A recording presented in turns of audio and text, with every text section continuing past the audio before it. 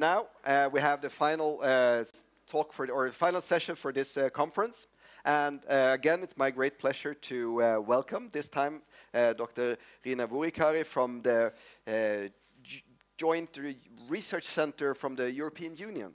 And I know that you will present yourself during the talk, so I will not do that. So welcome, and thank you, thank you very much for, for being here. Thank you. I like the uploads in advance. Uh, I like that idea. Thank you, Sweden, for this.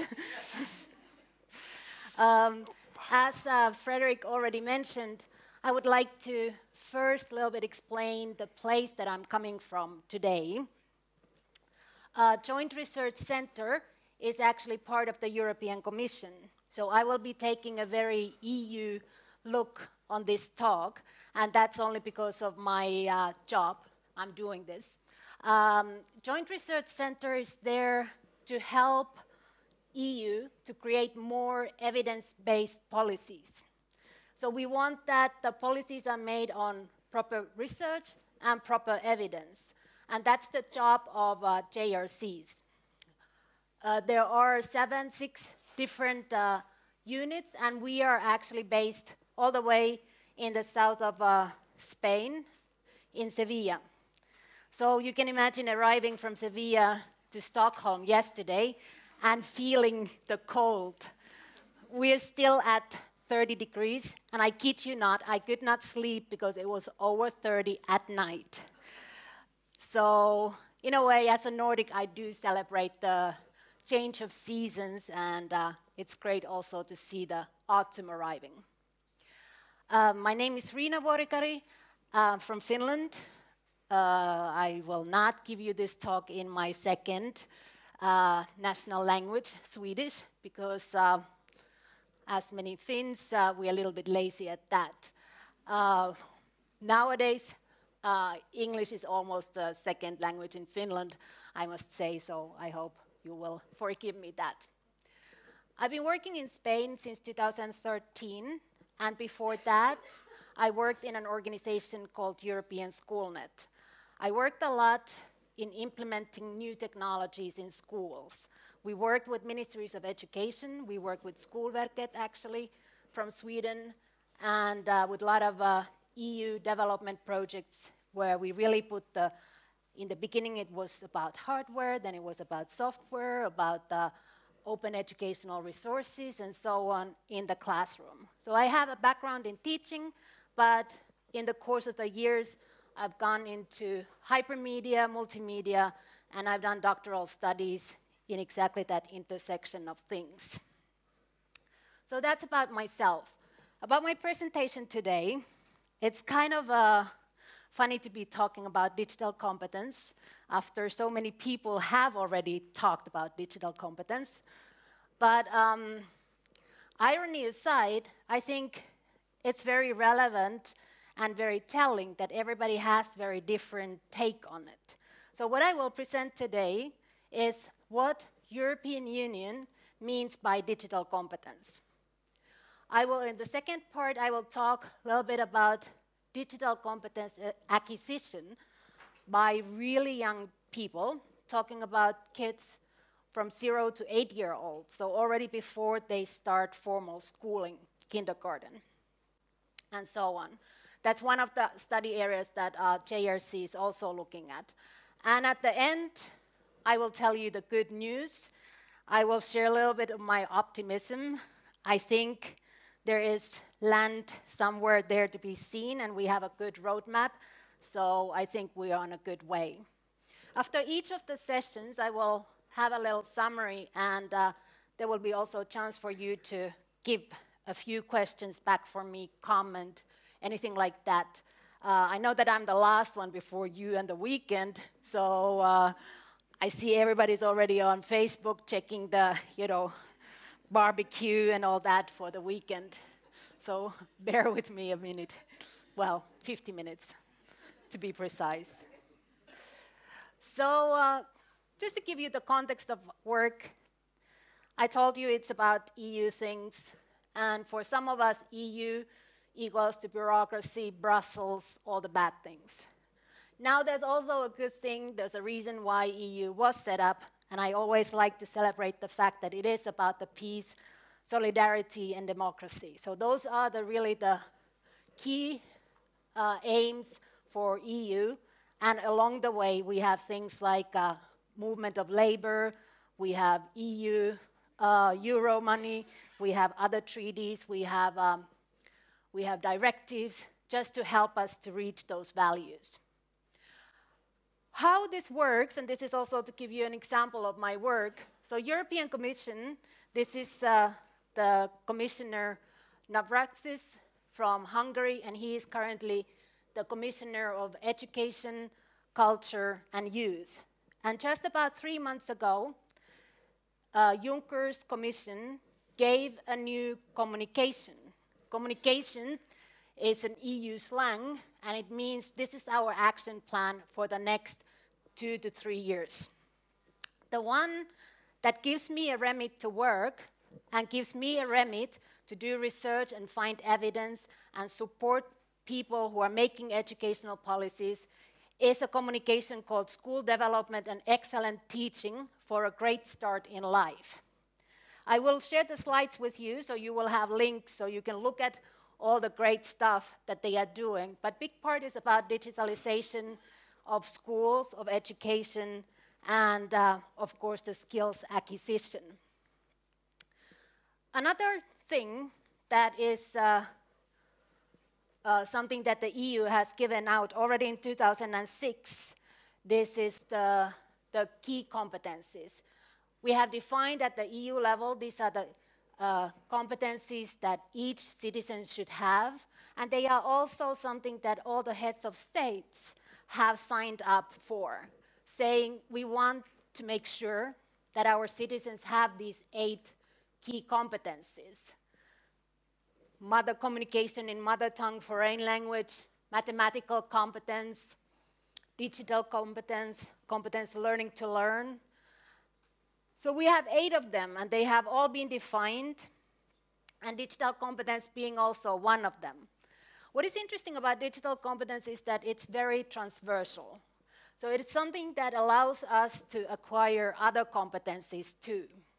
That is also really important when we talk about teaching digital competence. Is it really teaching the operational skills, how to turn computer on, like you're in the plane and they show you, this is how the seatbelt works? Or is it actually going a little bit further? And for us, it is really going a little bit further. We don't mean with the uh, digital competence anything that is just a mere use of ICT tools. There is a really idea that people could use it for employment, learning, self-development, and participation in society. So that's important thing. Another important thing is how we have defined the competence. So competence is really a combination of knowledge, skills, and attitudes. So skills being the operational skills, let's say, more the knowledge, more procedural knowledge about things, and then the attitudes is kind of that critical, motivated, inspiring, uh, and so on. So the combination of all these is what we, when we talk about competence. Uh, 2000, uh, 10, my research unit started working on digital competence. It was clear from um, the list, okay, we have a digital competence, we have some kind of a definition. This is what all citizens need, but what does it actually mean? Every country, every person, if you uh, care to ask, seem to have a different definition for it. So when we started the work, we started by looking at a lot of the research out there, a lot of the work by, uh, let's say, ministries, by groups like uh, uh, UNESCO with the Millennium um, Information Media and Information Literacy Frameworks, uh, national frameworks, and so on. So we looked a lot of the, a lot of the stuff out there. We did online consultations, what people mean by digital competence, and based on that, we made a proposal by uh, to say what does it mean. I go in a second to show you exactly what we mean by it, but just to tell you that we have been thinking of it for a while. So 2010 we started. The first version came out 2013. We updated 2016 our, uh, let's say, mostly the terms, because when we started, it was still about computers. And now when we talk about digital technologies, it's everything. It's wearable stuff, it's your cell phone, it's not only the computer. So that kind of language had to be changed. And now, just since um, summer, we have 2.1, where we actually define also levels. It's not only defining like this is what we mean by digital competence, but also eight levels of digital competence. So, what is this mysterious thing according to EU? Uh, for us, digital competence has five main areas. And they are all divided into competencies. There's 21 competencies that define digital competence as such. Each competence has a definition, and there's a little bit of a rich in text. Excuse me for that, but uh, you will have also this for yourself later so that you can look at it. But just quickly to go through the areas to introduce them to you. Information and data literacy. So this is the typical searching for information, critically evaluate information, and know how to store and retrieve that information back. We have communication and collaboration, and this is how to interact, communicate, through digital technologies, but also about participation in society. And this idea of participatory citizenship is very important there, as is nowadays your own digital identity. Understanding that you have one and understanding that that is actually a tool also to communicate. Digital content creation includes everything and uh, this includes creating content that could be PowerPoint, it could be uh, spreadsheets, it could be video, it could be a game. So that's why also programming, which appears in our list, is within digital content creation. These three areas, you can imagine that they are very interrelated. It's hard to talk about uh, communication and collaboration without actually sharing some knowledge artifacts. So of course, you know, then that becomes digital content creation and so on. So don't be fooled by the idea that this would be bubbles on their own. There's a lot of interrelated things. And then we come to safety and problem solving, and these are really something that penetrates all of the three areas there.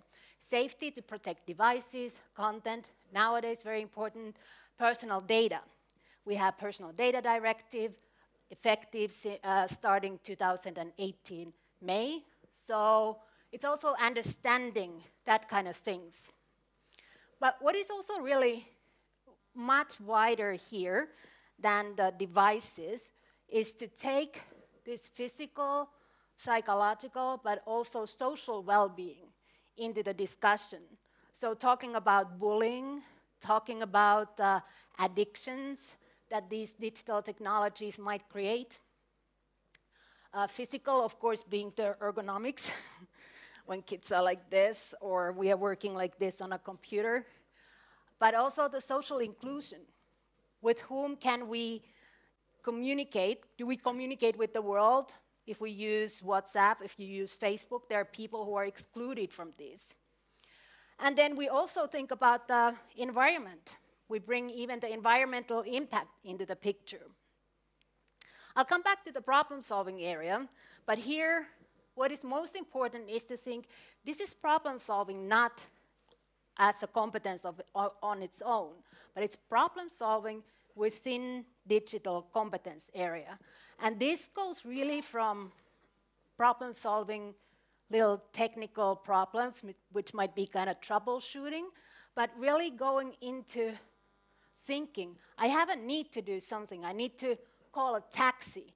Do I look, you know, the number on the internet, or do I uh, look at the phone book, or do I just uh, get Uber? You know, you have a need and you find a technological response to it. And this is that kind of thinking, but also to innovate, innovate pro products and processes. So the idea, the creation, and keeping yourself up to date. So each of the area, I already kind of gave it away, but is defined in uh, like with the header, what you see here, header, and each of the competence has its own descriptor. And that is the descriptor that we have for programming. Um, now, I personally don't want to get into the discussion coding, programming, computational thinking. The most important thing here for us is the idea that it's included in the, in the idea of digital competence by thinking, not that every citizen has to start uh, programming in EU to, you know, bring the, bring the economical growth and so on. It's more the idea that actually on both sides of the screen, there is a human. You know, humans actually create the algorithms, they create these programs, they create these uh, technologies that we use. And a little bit of this kind of curiosity, maybe also critical thinking towards, um, let's say, some of the search results. When you see, like, oh, funny that uh, Google puts these results up on the top. Maybe if you can understand a little bit about uh, uh content filtering, it might help you to be also critical about some economic gains there that somebody might be after. So I said I'll come to the, uh, the idea of our problem solving within the digital, digitally rich environment that it is, this for me is a, like a really the key, what distinguishes our digital competence framework from a lot of the other frameworks that are out there. If you look at the competencies that we have there, if you compare it to UNESCO's media and information literacy, it's pretty much the same until we come and look at the problem solving. So here, I already uh, mentioned that these two areas are, uh, the first one was the trouble, like technical troubleshooting, but the identifying needs and technological res responses. And this also includes the idea that you could customize these environments to your own need. So a little bit more taking proactive role there. And creatively using digital technologies. Here I would like to highlight the part to engage in cognitive processing to understand and resolve conceptual problems. So this, for those who have looked at the PISA study and who have looked at the problem solving in PISA, you would realize that this is exactly the same definition.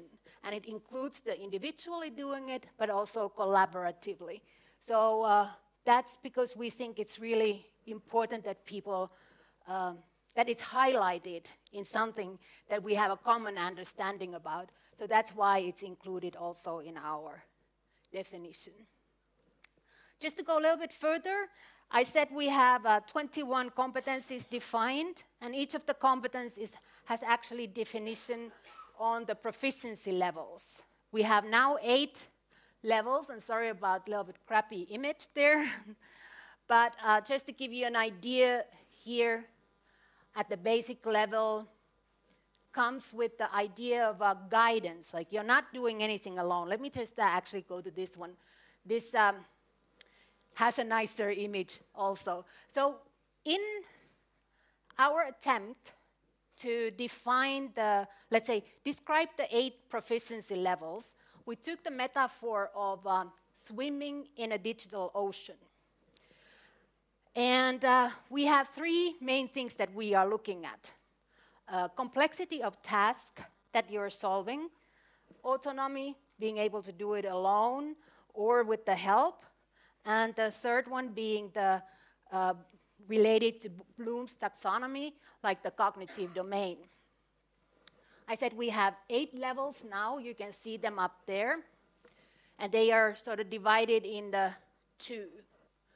So if we look at the autonomy, for example, in a very low level, you might be able to uh, look for information if you're assisted by your mom, by your teacher, by a trainer at the unemployment office, because this is really thinking about all citizens, not only schools.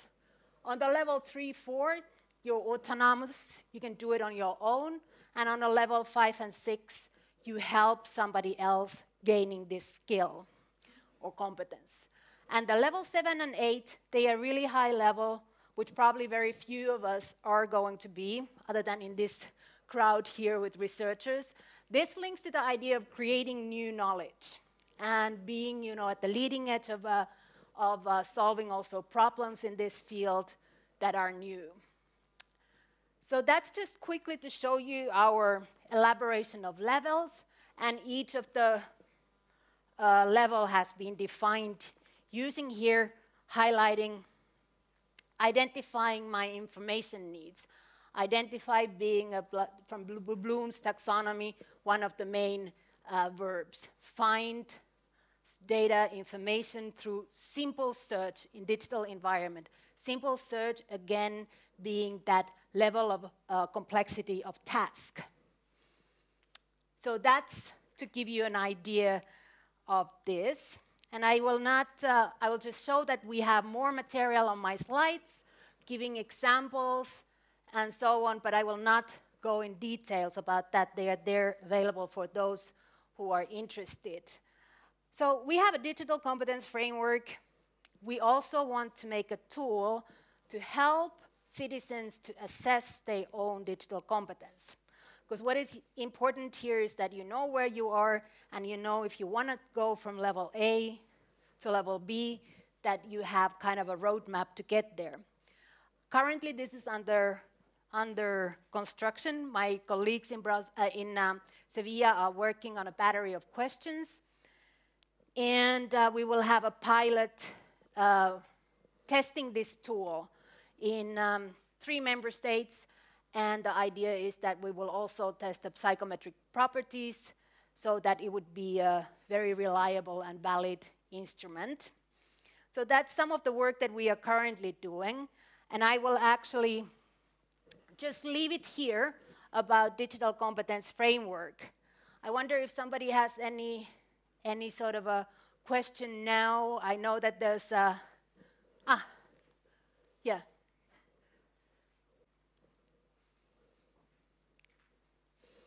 There's a lot of information. It's a little bit boring, but I thought to take the time to explain to everybody what we actually mean by this.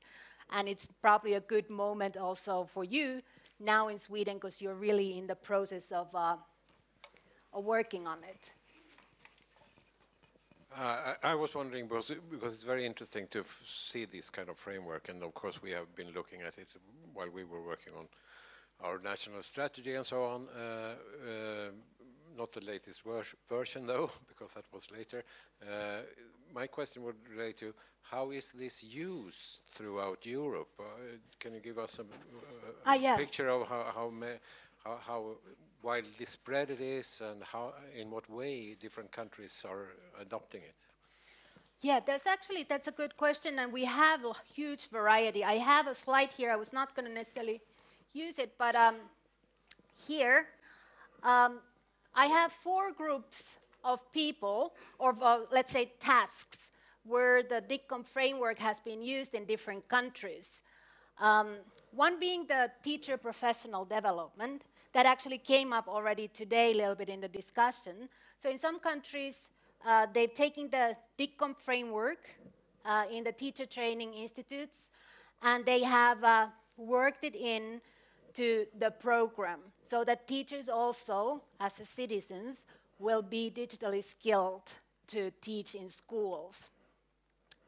Another area, uh, education and training content, that's the blue one, and student assessment. So some countries, like Estonia this year, will for the first time, all the ninth graders going out of school, they will test them for their digital competence. So they've been working on an eval um, evaluation tool, and uh, they want to do that for all students leaving compulsory education. to give a few ideas. France has a similar tool called Pix, and uh, it's then for all citizens. They can go on a platform, take a test, get their own self assessment. If they are interested, they can go to a center where they can get certified for that. We have also ways where it's used in employment offices. So people who are unemployed uh, in Basque Country, they worked on creating profiles for different jobs. And this is quite interesting. If you look at the long list of 21 competencies, we can ask, does everybody really need those all? But what they have done, they said for these job profiles, you would need to be on level one in this competence area and level two on that competence area. So based on that, they can give training for people who are out of jobs. So those are some, um, some ideas, and maybe also to say, uh, just last uh, Germany uh, this spring, they made a new big strategy, a little bit like here in the, they're creating new curriculum in all Länder. This was um, a big thing, uh, including media uh, education and also digital competence. So they used a little bit parts of our competence framework, mixed it into their own. So there's a similar work also going on in Germany, so that might be interesting. Just to maybe sum up here, the part one. So the idea was really to give Europe a tool where we can talk about digital competence development and we can all agree that this is what we mean. So, a common definition and understanding so that we can have tools to work together somewhere towards the same goal.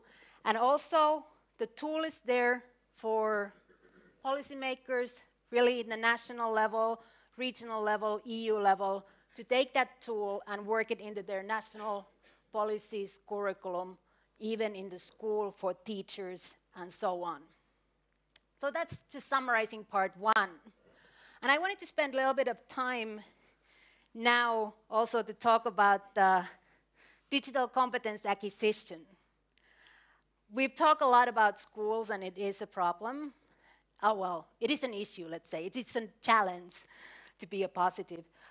But um, it's very rarely that people actually look at the preschools, like we heard Susanne speaking a little bit earlier. That was really actually super interesting to me. But also, like in this case, really the kids who are three years old, two years old, four years old. And this is uh, just a funny little uh, thing dad saying. I realized that my three year old toddler was addicted to iPad when uh, the little kid comes up at four o'clock to wake up the parent, like, hey, I need my iPad. So this is maybe a moment of reflection. So when we like start looking at the research, we realize that there's, you know, kids are using these technologies younger and younger.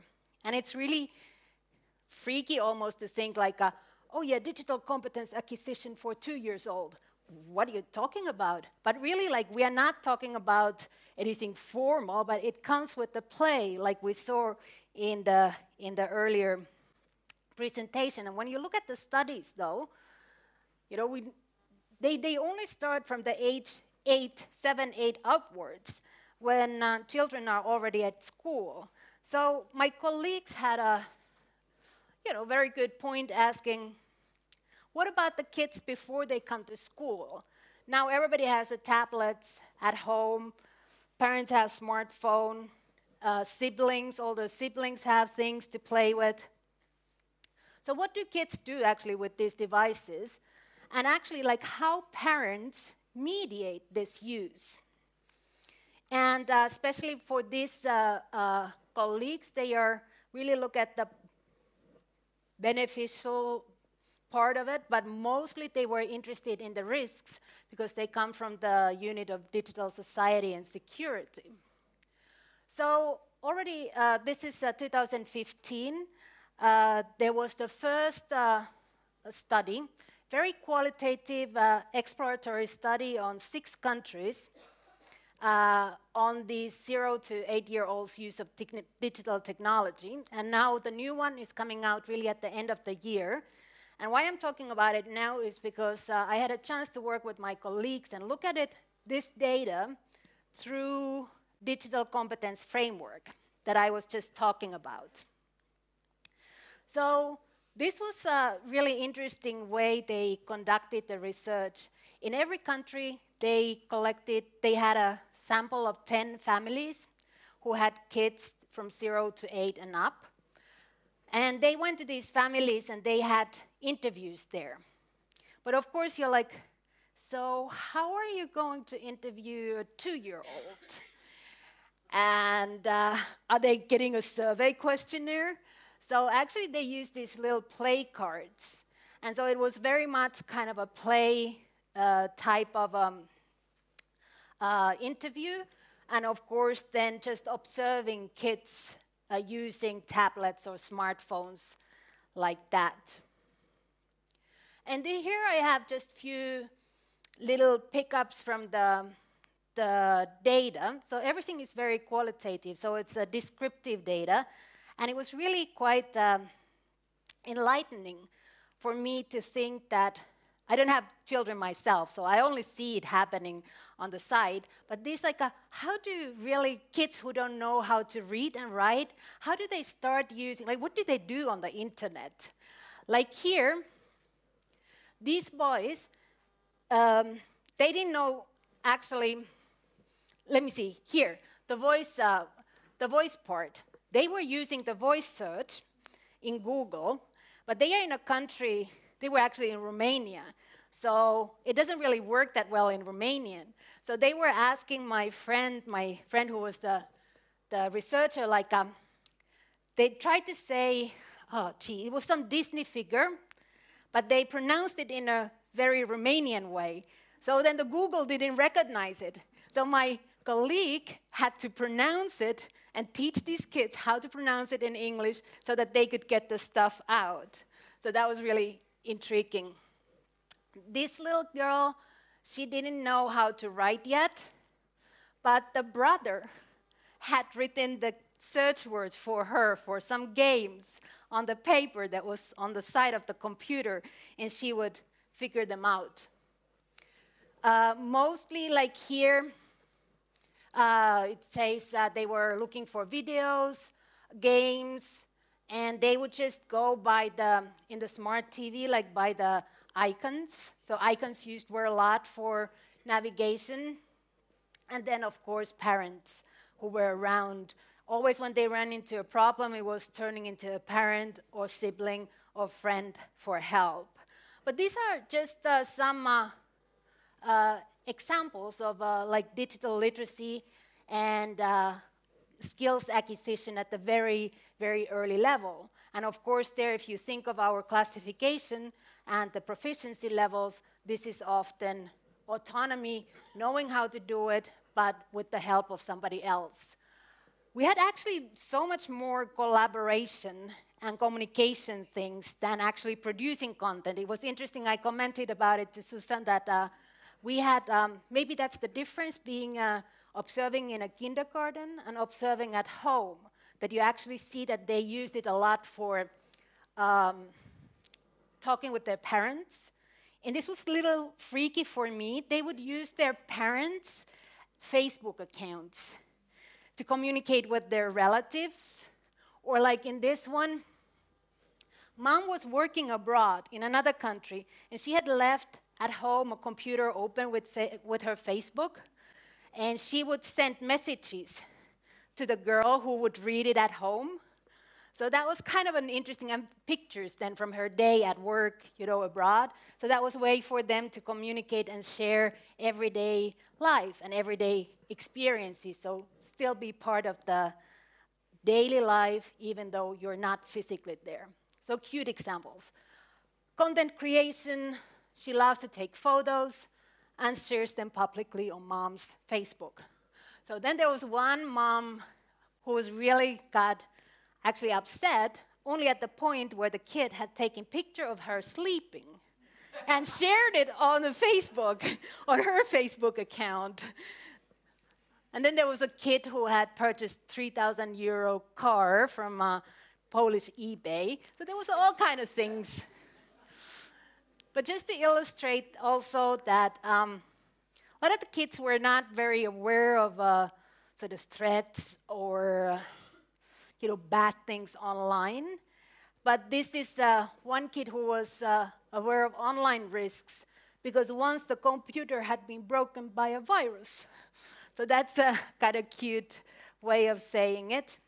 And then there was the issue, you know, the kid said, like, well, I would actually like to put a password on my computer or my tablet, but the mom didn't, because then the mom would lose control over checking what's happening on her life, what kind of things she's looking for, what games she's playing, downloading, and so on. So this is just to illustrate the variety. There was a lot more, of course, but that's from the, um, these recommendations are from the first study, and the new recommendations are coming out, but these are still very valid.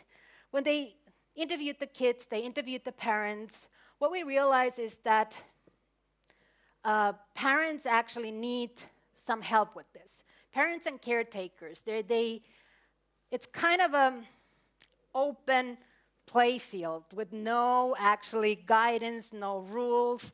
It's like go get it, get there and get dirty and uh, you know, so far so good. That's how kids learn. But at the same time, if we're thinking of uh, leveling the playground and offering also a secure digital life for these kids, it could be good to have some recommendations. And these kind of mediation strategies for parents, how to talk also about um, managing and uh, mediating online risks, information also about positive effects of uh, the, for the creativity, the content creation part. Uh, parents actually didn't use a lot about the educational games that are out there or tools, it appears. And of course, this whole idea of uh, practical information and ideas, you know, how to actually deal with those things uh, would be very important. And also to bring this to preschool daycare.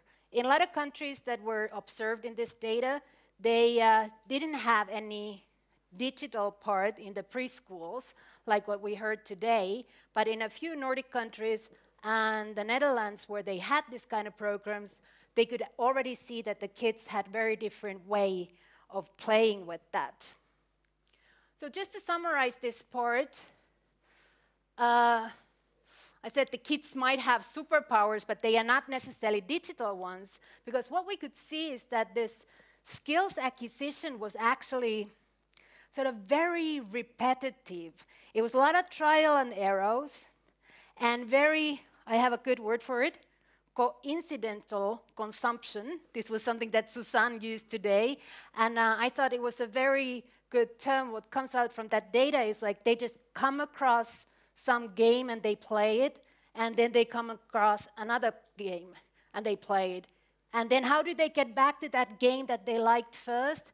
It's like sometimes they see the link in Google is underlined. So, you know, that kind of things. But they just copy what their parents are doing. And that is fine because that's how kids learn. But if you look at the other side of it, it really creates this really patchy, uneven playground. And if we think about the balanced uh, online life, you know, for everybody in the in the EU, it is uh, the playground is already, you know, the playfield is so uneven by the time they come to school that teachers have even a harder job getting started with all this. So there's some, you know, reflection to be done for all of us, but I hope somehow that EU also could be part of that kind of thinking. If I just quickly get a few questions, if do you have any comments?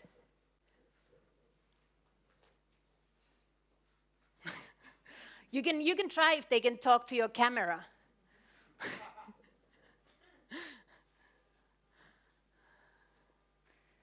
Oh, yeah, I should, uh, I, I have one here. Well. What would you say was the greatest concern among parents about younger children's use of digital media? Well, for me, like what came out was uh, actually the fact that they were not so concerned. I was, that was scary for me, that they were very um, knowledgeable about the fact that they will at one point start uh, giving some strategies for youngsters. But they were thinking, like, okay, when they go to school, they will talk about those things and then we'll deal with that then. And for me, that was really scary. And I also, like, uh, I'm looking at these devices as personal devices. They were planned to be personal cell phone, personal tablet, and then they are shared with everybody. You know, you might have your personal data there, your pictures, your banking information, and then it's just in a child of uh, somebody, you know, your dear child. But uh, for me, that was also a little scary, that part. But surprisingly little came out in the data. Is that something you've seen yourself also? No? No. Okay. I have a question with the kids and the framework you talked about earlier. Yep. Is there like a recommendation at what age you should be at what level, or is there like more of a this is the path you should go through in a lifetime? Well, that's a very good question, and no, we don't have any recommendations at the EU level. It's really, this is something that is left uh, for each country and each uh, region or whatever municipality you have to decide. But that is, uh, you know, also when you look at the research, which is where I would go first and look like, okay, what does the research say? We don't have any very conclusive results. Uh, there are some, like um, I think American Periodic, uh, no, Association for the, what's the little kids association? Like at the doctors who, pediatric. pediatric association has some recommendations for screen time.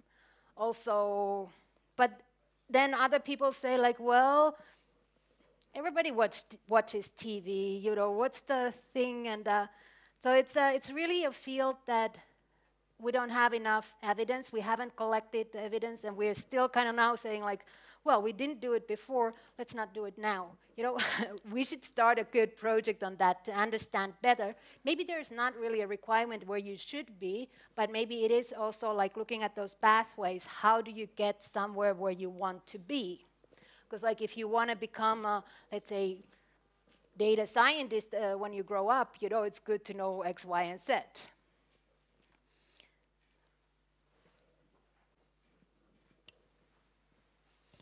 it went green. Um, I was going to ask about regulatory frameworks because some of the phenomena that you described there actually are influenced by the companies who implement the product. So, for instance, I communicate with my sister's daughter by my sister's or via my sister's Skype account. Uh, now, why is that? Well, it's because you can't create a Skype account for a person of that age. So you either lie about their age, yeah, uh, or, or so whatever. So and of course, because we're in some sense all fictitious people now, you know, I could be 102. Uh, I yeah. could live. Be a dog. yeah, e exactly. Yeah. yeah. Um, so, whilst there's no real way of checking, there are still these requirements, and I think it it biases parents' behaviour because they're rule following and they're trying to be right and they're trying to do the right thing, and they well, I can't create a Skype account for my daughter because she's only five. Right. Uh, or, or I can't have a. Facebook account yeah. because they're under the age of whatever it is that Facebook requires. Um, and then what happens is that you, you loan stuff out, and that's yeah. untraceable and probably yeah. more dangerous actually than understanding what was going on. Exactly. That's a good sort of research question I must, uh, you know, pass on to my colleagues because maybe exactly how much of that behavior of uh, kids using their parents' account on Facebook is exactly that. The parents want to be rule followers, and uh, therefore the kids doesn't have it. Or then you have kids who are really eight-year-olds and they already have their accounts, and there you go, like, hmm, I don't know if that's a good thing either. Uh, another thing that is a little bit scary here is the um, parents, like the apps, you know, downloading free apps, these games, and all the advertisement that is within it. And uh, you probably also know about the privacy. there that a lot of the apps actually collect a lot of the data from your phone. They might, you know, check the location data. They might look at the phone numbers, the messaging. There's uh, all kinds of things that you think they are, they're not relevant. Why would they need this information? But there seems to be a whole information uh, uh, consumption culture behind, and that's why they sell them for free. But the, the whole that kind of thinking also for parents, you know, these so-called free accounts, Google is free to use, but they actually collect a lot of data about you, about the people you uh, communicate, the same with uh, Facebook. So all that kind of comes into a little bit this, not necessarily security, but I like the skills for kids that Susanne had, like the thinking about the critical thinking, equity, and ethics. You know, this kind of like the little kids should already be somehow immersed into that, I think. But yeah, so quickly, I will just uh, share with you a little bit of my optimism. I think, you know, we're in a good way. And uh, there is now research coming out that we actually know that there are no digital natives. You know, and uh, that's what I also said to my colleagues when they did this research that actually, you know, this data totally shows, you know, busts the myth of digital natives being there. They are just normal kids who learn by imitating everything what is around them and sort of trial and error. So from that point of view, there was the, I mentioned already, uh, uh, Kirschner from uh, Open University, and he has looked at a little bit into this kind of a research. And what he says about this idea of digital natives, he argues that we hurt students rather than help them to learn when we assume that they have already certain technological unique skills. So that just brings back my optimism about the new curriculum in Sweden. I think it's great that we have actually put names, labels on things and said, okay, now in schools, we do have to pay attention to this thing of digital competence. And I also hail very high this idea of uh, creating teacher uh, professional development material. Actually, um, I was looking a lot into these modules that are out on Skolverket's portal, and the model of uh, teacher training behind these modules, where you discuss at school with your colleagues and you have a sort of facilitator for the discussion and you try out something in a classroom, that is really in the research we've shown that that's the one of the most effective teacher development model. So I, you know, would really love to see a lot of uh, teachers taking up these models, modules here, and uh, start really putting these labels on behavior that we do and say like, okay, let's now go and teach about this uh, active, for example, uh, uh, information, uh, looking for information on the internet in a critical way. So now just to show you, like, these are the DigComp competencies, you know them by now. So for example, the digitalization modules, so they really also treat the same stuff. The, the content is really almost one-to-one -one in some areas to what I have been talking about in DigComp the critically using internet. Here, the digital storytelling, where you uh, create material, you communicate, you collaborate. So those are really those skills and those courses should give the confidence for teachers to use these uh, ideas in the classroom, bring them there, but also to give them a good attitude towards these digital technologies. Because from the previous research, we know that one of the factors most important about digital integration of digital in classroom practices is teachers' attitude. If they have positive attitude themselves towards digital technologies, they are more likely to use them in the classroom. So these are also ways to work on that positive attitude. And just uh, finish up some take home messages, I was trying to look for a cool map. And then I went to Flickr and I wanted to find something with the Creative Commons licenses that I could reuse, and I couldn't find anything. So this map is from Sevilla in uh, 1560s. and uh, I live right there. it's just also to show this is exactly the time when uh, the golden period in Spain started, and when uh, Columbus actually uh, departed to uh, find the Indias, the route to India, which was incidentally found Americas there, but uh, that's where they left. So uh, this is, uh, we have a vision, and you have now a mandate to work in, the, in your curriculum. So I think um, it's, let's say, there are a few things I wanted to say. We have tools.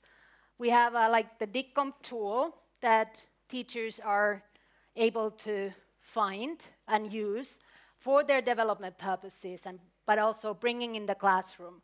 Uh, there, there's also a little game here. You know, my colleagues uh, who look at the, all these um, security things, they created a game that you can use to play and raise awareness of risks and opportunities. We have also a quite big project in my team, which is actually not only looking at the digitalization of schools as such, or bringing digital competence there, but it's really looking at the school as a digital learning organization. And that's uh, where I want to stop. And I'll just show you this uh, idea. The tool itself has um, seven or eight areas. And uh, they are areas that if a school wants to start implementing these kind of digital sort of, um, let's say, change in the way they have done things before and how they want to change also way of do doing things. You have to look at a lot of things. You know, there's the infrastructure. There's also something related to content, curriculum being there. Very important, the learning and teaching practices, uh, assessment practices that are used in school, leadership, so that your school actually creates a common vision where all the teachers, students, parents also buy in to make that change. And now we've been talking a lot about, you know, what about computational thinking? They should be thinking technologies too. They should be thinking learning and math. What we have to do is try to find a win-win situation. And for that, you know, digital competence is great because like I started saying, it's transversal. It cuts through a lot of issues. So bringing it in the school in a way that it doesn't take away anything from other subjects is important because you don't want to go to school and you know start picking with your colleague like no my thing is more important than your thing. You're not going to get anywhere there. So try to create win-wins. Uh, get your hands dirty. There's a lot of things to do. You know you're you have a great start but there's still you know road ahead in sweden. Think how do you define success you know? How do you know that you're successful in that what you're doing now with changing, you know, implementing new curriculum.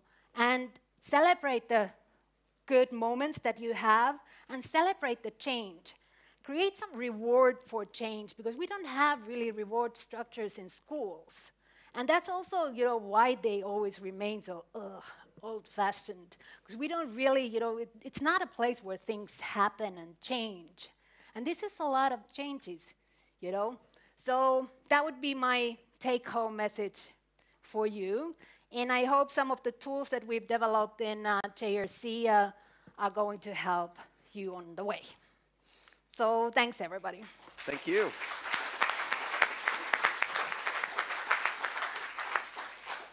So, questions? Oh, at the back, the neuroscientist. Let's see.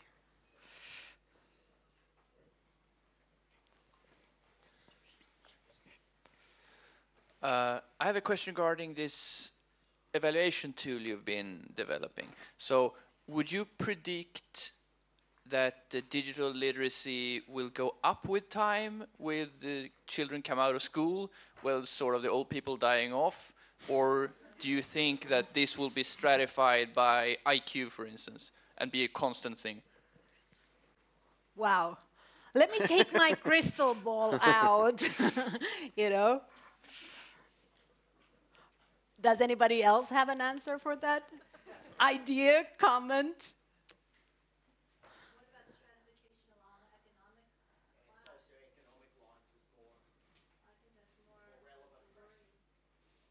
Well, definitely, you know, like also what we uh, see with any digital literacies, it is the second uh, sort of, um, it's not the have computers at home or have uh, phones, you know.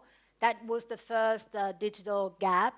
The second one is like the, that comes from a social and economic background. You know, kids in homes, disadvantaged homes, they use them very differently and they use them. We, we have studies, we have actually studies coming out now. My colleague looked at the PISA data there and disadvantaged students, and they actually saw that for certain disadvantaged students, using these technologies in schools was actually really good because it helped to bring that, you know, them up to the level that other kids in some homes already had to start with. So uh, I think that the division will remain, you know when it, we are not. Plus, there's like, if you look at the north south division in Europe, that's huge, but also now the east um, west is uh, starting to also emerge. So I think the digital literacy will be as divided as uh, some uh, parts in Europe,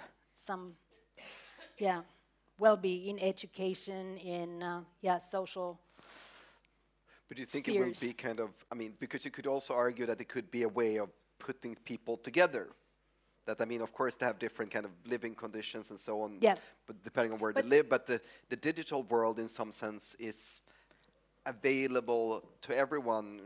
uh, And that's if they are given that opportunity. And that's why I would look at the schools exactly as a place where they could, you know, start hanging out. Like, uh, there are d- programs that I love. I'm a big fan of eTwinning. I don't know if anybody knows eTwinning. It's a European school project where uh, a school in Finland could find a school in Spain, and they could, you know, over Skype do some discussions and uh, talk about Christmas in Finland and in uh, Spain. And there you learn languages, you learn the culture, you learn something about the societal values, and those are the things that I would really love to see more learned through technologies.